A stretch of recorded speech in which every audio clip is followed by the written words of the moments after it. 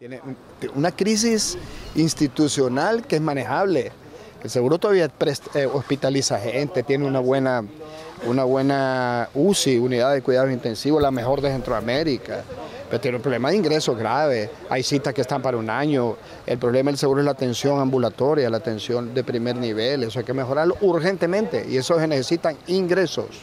Entonces, me parece que el Congreso debe entender que este es un tema de interés nacional resolvamos lo del fiscal, que es urgente, pero démosle prioridad a esto también. ¿Cuánto tiempo tenemos ya en espera de que se pueda solucionar ese Seis meses. ¿Cree que se va a alargar más?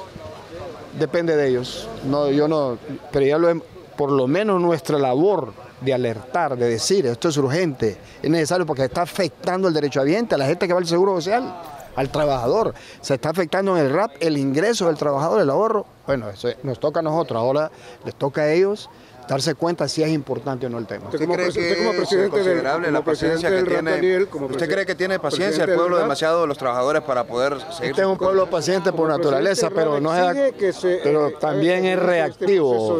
Hay momentos divididos, ya, ya conocemos, eso es lo que hay, hay que evitar. Todas estas cosas afectan la democracia en su conjunto. Entonces, mire, 8 de cada 10 hondureños están en el sector informal de la economía. Nosotros estamos en el sector formal porque tenemos trabajo. Tenemos derecho al seguro social, nos atienden.